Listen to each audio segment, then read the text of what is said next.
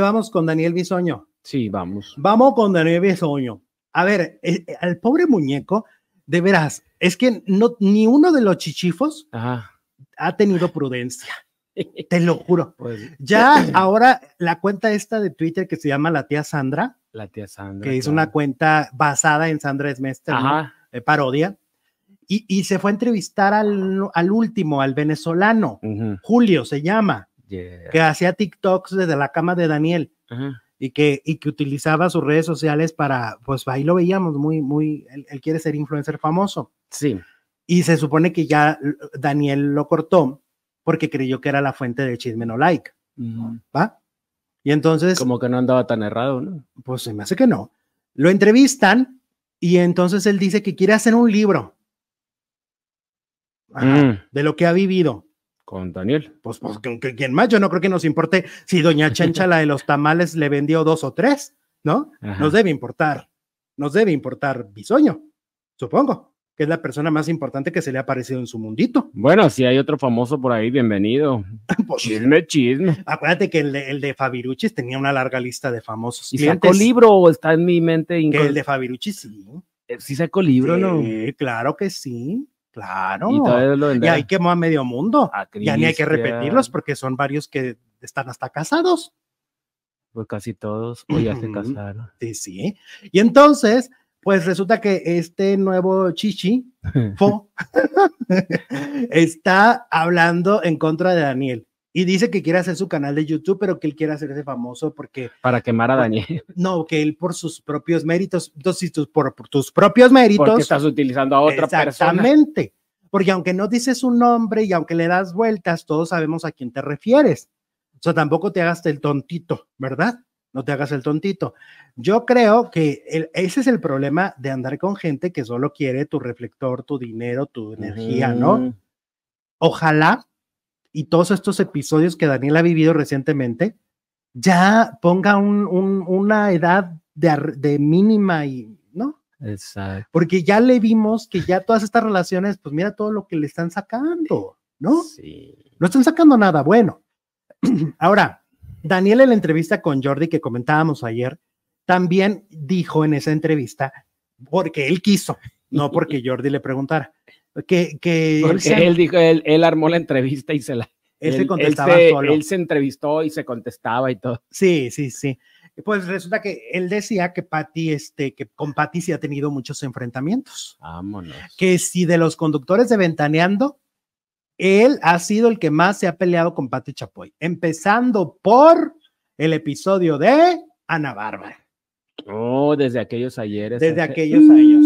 Dice que Ya aquella vez, cuando ya salió del aire, por teléfono le dijo a Pati hasta de lo que se iba a morir. Neta. Ey, Y, Y la. que- ay, y ay, que, la- y la que él es el que más se ha enfrentado a Pati. Ok. Y sí, Pati llegó a aceptar que sí, Daniel se puso bien grave aquella vez.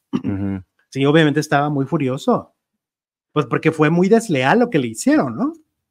De llevarle al foro Pues al sí, enemigo sin porque avisar. el de casa era él, al que tenían que cuidar era a él, no a una persona del medio artístico que les daba nota cada mes, cada tres meses, no al que tiene ahí todos los días. Oye, y no queriendo, no queriendo, se pasó a refinar a Pati Chapoy en la entrevista. Que dijo, Porque dijo que a veces alguna mirada que hace Pati, por ejemplo, Pati dice al aire, pero eso lo dijo Daniel, ¿eh? Dijo, ay, sí, sí, sí, sí, sí, sí, pues muy talentoso, ¿verdad? Pero, pero, y entonces e- e- ella les, con los ojos, les dice, échatelo, Era bien. dile con todo, ¿no? Dicen que no es tan buena persona, ¿verdad, Daniel? Y entonces Daniel, ahí es donde entra con la cizaña. Pati, fíjate. Exacto, eso dijo Daniel. Órale. Eso lo A la próxima vez que Patty diga, ¿verdad, Daniel? Es que le- ¿Verdad, le Daniel? está dando luz verde para que se aviente con todo. Es que ella nunca se quema. No, para eso los tiene a ellos. Para eso tiene a. O sea, les marca línea con los ojos. Ay, imagínate, es que la, la Chapoy tiene una mirada bien poderosa en la televisión. Ahora imagínate en vivo. Ay, qué miedo, Qué cállate. miedo. Ay, cállate los Qué ojos. Selene Silva nos manda un super, super chat, un super sticker. Muchas gracias, Sele. ¿Cómo De estás? 4.99 dólares. 4.99, dice pernicioso. ¿Qué dice? Producer, ya somos dos. Soy hombre de 29 años y escucho las de Tatiana de los 80 a mucha honra. Ah, mira, pero te tengo una noticia. El producer escucha las de niños. No se refiere a las ochenteras, se refiere a las de niños. A las nueve. Ay, Dios mío. Bueno, ni tan nada. La- brinca la tablita, yo ya la El brinqué. chango marango, el gato. El chango ma- El Ahí estás en el gimnasio yendo el chango marango. Pues por eso me pregunto si soy el único. Sí, sí, Sí, soy sí, eres el único. Sí, sí, sí. Yo te lo contesto. Ajá. Oye, y luego resulta que pues hay mentiras de Daniel o mentira de Mariana Ochoa, porque Mariana Ochoa en una entrevista yo la oí que dijo, ay, anduve con Daniel, pero bien poquito, como tres meses. Ajá. Y Daniel dice que fueron tres años. Vámonos. Esto me suena un poco a lo de, o sea, digo, aquí todos eran mayores, pero a lo de Luis de Llano, ¿no? Que él dice, no, pues ella tenía die- 17, 16. Ándale. Y, Sasha dice, mentiras, tenía 14. Ujú. Así Daniel, no, no, fueron tres años, no, tres meses. Ajá, muy Como raro, que ¿no? quiere este, la imagen de macho alfa que Sí, que por relaciones duraderas, altas, ¿no? ajá. O sea, no, no, no relaciones tan fugaces. No, pues no. Pero entonces, ¿quién dice la a- verdad? ¿Tú crees? A malas interpretaciones. Marianita Ochoa de OV7. Pues yo le creo a Mariano Ochoa. Ajá. ¿Cuándo ha dicho mentiras? Las de jeans no bailan, no bailan. Ari Boroboy se los transió, se los transió. ¿Cuándo ha dicho mentiras? Jesús, bendito, todo lo que dices. Controla. Todo lo que dice ella, yo qué. Bueno, a ver la encuesta, échatela. La encuesta, ay, tan aburrida la encuesta. Cállese. ¿Crees que Luis Miguel ha cambiado y ahora es más sencillo? Pues sí, sigue siendo soberbio. 68%. ¿Más cercano? Sí, más cercano.